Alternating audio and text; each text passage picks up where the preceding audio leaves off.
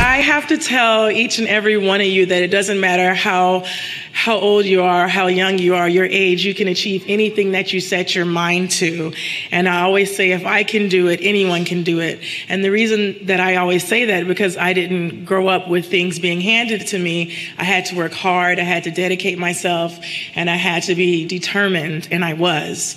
Even outside of sport, it could be education, it could be business, it could be anything. Um, it, it requires discipline and hard work and determination. Most importantly, it requires self belief because, like me, some people might not believe in you, but you have to believe in you. And sometimes you, you're going to be your own cheerleader and you have to be your biggest and your best cheerleader. So, to all you young athletes, take that to heart and never stop believing in yourself and really always support who you are.